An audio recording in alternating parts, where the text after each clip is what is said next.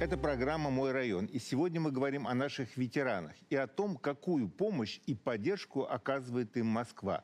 У нас в студии ветеран Великой Отечественной войны, заслуженный изобретатель Советского Союза Ирина Булина, заведующий отделом соцзащиты ветеранов Московского городского совета ветеранов Олег Бабич и заслуженный артист Российской Федерации Василий Мищенко.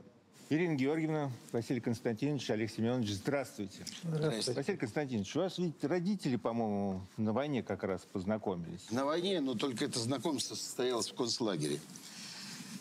Папа был пленен в первые месяцы войны под Белой церковью. Вот, и угнан в Германию. А маму уже в 40, начало 42 году угнали девчонку. В концлагере встретились, полюбили друг друга, вцепились друг в друга, держались друг друга и выжили. Это программа «Мой район».